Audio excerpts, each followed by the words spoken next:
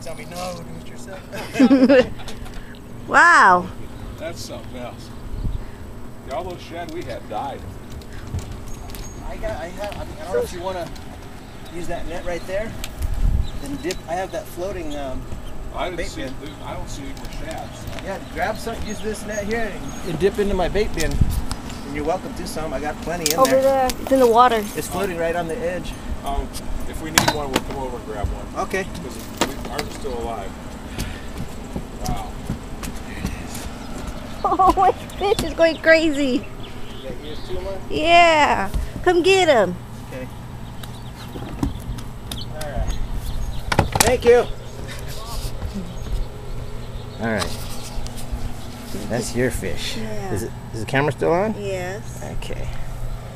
Oh, that's another good hook. Mm -hmm. And they take the hook out, Okay.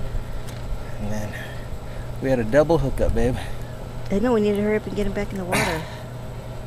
I'm trying, but Can you get it out of his mouth yeah, I think so. without tearing him up? There we go. Okay. You hold him. Just like last time. Oops, I'm I'm filming me. we were I think we were filming backwards the whole time. Yep, go for it. Put him in the water. Okay, good. Okay. The other one.